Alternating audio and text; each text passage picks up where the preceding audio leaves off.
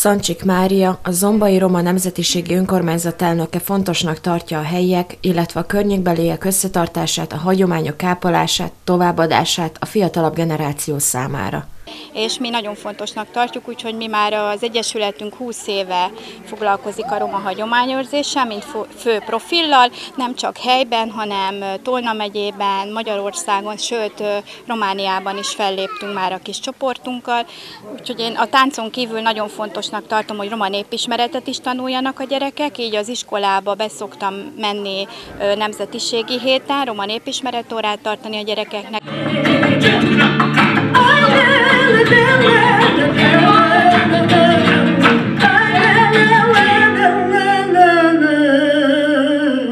Tolerancia napon fellépett a Pári Aranyeső tánccsoport, a Decsi Roma tánccsoport, a Dunaszekcsőiek, valamint az újéregi kis csillagok is megmutatták tudásukat. A megjelenteknek finom ebéddel is készültek. Az ebéd egy cigány hagyományos pörkölt lesz lecsóval és punyával, illetve tésztát is főztünk, mert valaki azt szereti. Savanyúsággal, úgyhogy nagyon sok szeretettel várjuk a vendégeket. A kicsiket ingyenes körhinta és gyöngyfűzés várta.